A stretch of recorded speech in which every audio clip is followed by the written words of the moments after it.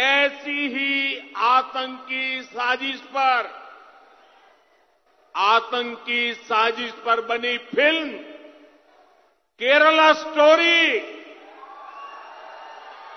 ये केरला स्टोरी की इन दिनों काफ़ी चर्चा है। द केरला स्टोरी तोलपाड़ गोटा देश, एके एक मामला। হস্তক্ষেপ কেরালা হাইকোর্ট এবং সুপ্রিম কোর্টের এই আবহেই পাঁচ তারিখে মুক্তি পেল দ্য কেরালা স্টোরি। এদিকে সামনে এসেছে কেরালা হাইকোর্টের রায়ও। জাস্টিস এন নাগারেশ এবং জাস্টিস সোফি টমাসের ডিভিশন বেঞ্চ স্পষ্ট জানিয়েছে, ফ্রিডম অফ স্পিচ এবং ফ্রিডম অফ এক্সপ্রেশন বলে বস্তু আছে। এদের আর্টিস্টিক ফ্রিডম আছে। আমাদের এটাও ব্যালেন্স করতে হবে।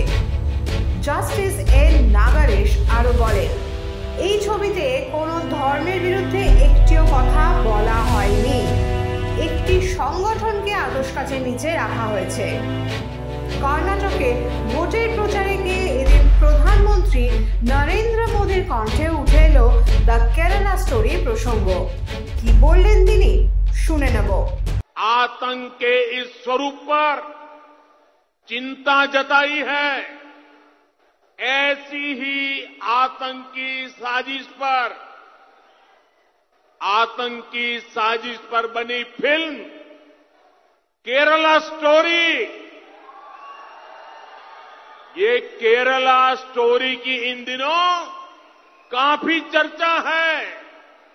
कहते हैं, केरला स्टोरी सिर्फ़ एक राज्य में हुई आतंकवादियों की, छद्म नीतियों की साजिशों पर आधारित है।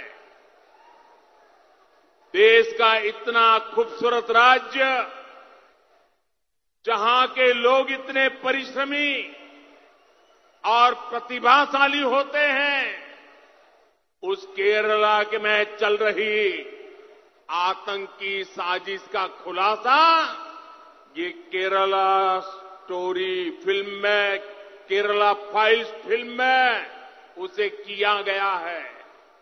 और देश का दुर्भाग्य देखिए कि कांग्रेस आज समाज को तहस नहस करने वाली इस आतंकी प्रवृत्ति के साथ खड़ी हुई नज़र आ रही है। इतना ही नहीं, ऐसी आतंकी प्रवृत्ति वालों से कांग्रेस पिछले दरवाजे से राजनीतिक सौदेबाजी तक कर रही है এই সময় ডিজিটাল